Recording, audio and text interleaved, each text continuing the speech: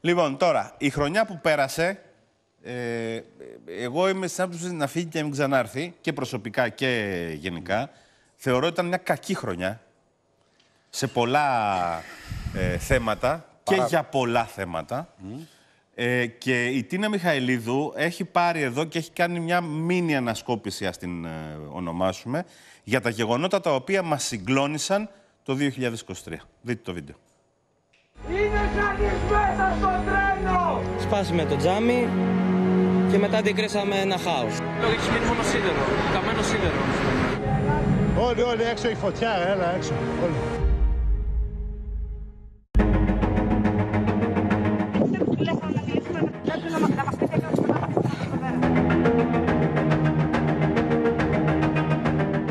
...28 Φεβρουαρίου 2023, ώρα 11 και 22. Ο επιβατικός σειρμός Intercity 62 που μετέφερε περισσότερους από 350 επιβάτες και εκτελούσε τη διαδρομή Αθήνα-Θεσσαλονίκη συγκρούεται με τοπικά με μια εμπορική αμαξοστοιχεία.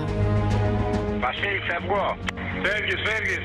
Δεν μπορώ να καταλάβω, έχει γίνει έχει γίνει εδώ πέρα.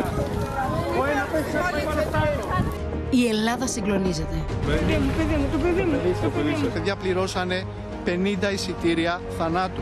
57 άνθρωποι χάνουν τη ζωή τους και τουλάχιστον 85 τραυματίζονται. Πρόκειται για το πιο τραγικό σιδηροδρομικό δυστύχημα που έχει καταγραφεί στην Ελλάδα. Παιδιά, καλά εντάξει, έρχεται και από εδώ. Παιδιά, έρχεται και από εδώ, ε. Πάνω, πάνω, πάνω. Βλέπετε ότι η φωτιά πια φτάνει κοντά στα σπίτια. Jesus.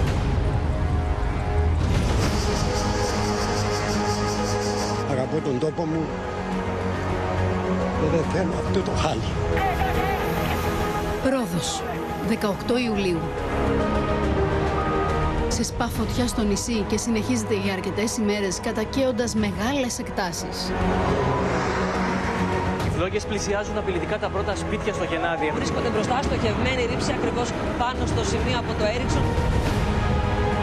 Ακολούτα, ακολούτα, παίζει φωτιά.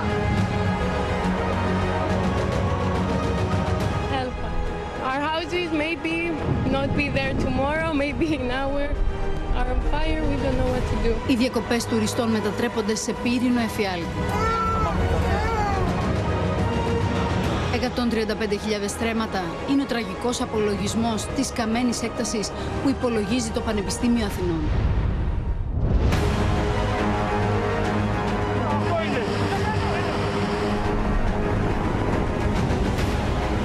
Δεν ήξερα τι γίνεται με την οικογένειά μου, με το σπίτι μου που θα, θα έρθω, θα το βρω.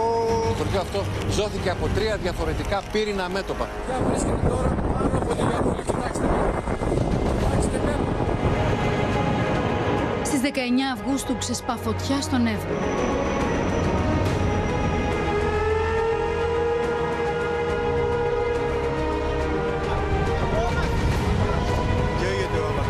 Συνεχίζει να καίει ασταμάτητα μέχρι και τις αρχές Σεπτεμβρίου, κάνοντας στάχτη πάνω από 935.000 στρέμματα. Έχω μια ζωής σου. Είναι μόνο γη και του πατέρα μου. Δυστυχώς δεν μπορώ να μεταδώσω την παραμικρή αισιόδοξη νότα αυτή τη στιγμή. Η δασική πυρκαγιά στον Εύρο αναγνωρίζεται πλέον ως η μεγαλύτερη σε έκταση μεγαπυρκαγιά των τελευταίων 21 ετών στην Ελλάδα.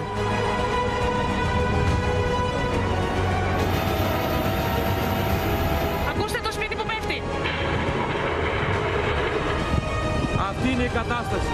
Δεν έχουμε βοήθεια από πουθενά. Είμαστε ξεχασμένοι. Θα πνιγόμασταν, του ήρθε 3 μέτρα νερό, 4 μέτρα νερό.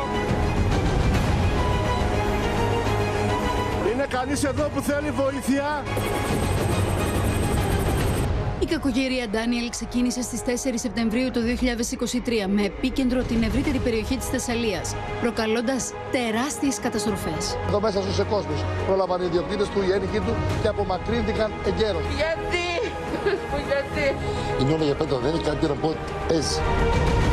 Ο Θεσσαλικός κάμπος μετατρέπεται σε μια απέραντη λίμνη λάσπης, αφήνοντας πίσω του 17 νεκρούς, αλλά και ένα απέραντο νεκροταφείο ζώων.